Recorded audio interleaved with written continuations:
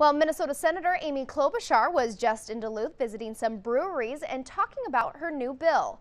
The bill would drop the excise tax from $7 a barrel to only $3.50. It would affect only small breweries producing 60,000 barrels or less. We talked to some other Duluth-based small breweries today about how the legislation will affect them.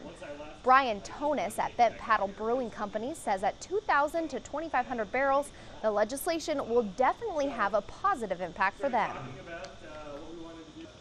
Any, any sort of break at this stage would uh, definitely help us out in being able to uh, hire more people and also uh, spend money on some uh, capital expenditures to add more tanks and expand a little bit faster. I think that's probably the principal driver behind it in Congress is for job creation because craft beer is booming. There are an awful lot of breweries that are opening up. So anything we can do to continue that trend and to help the existing companies grow is going to be positive for the overall economic health of the country.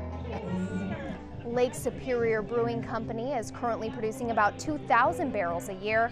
HOAG says, like Bent Paddle, Lake Superior would spend any money saved on increased sales and staff.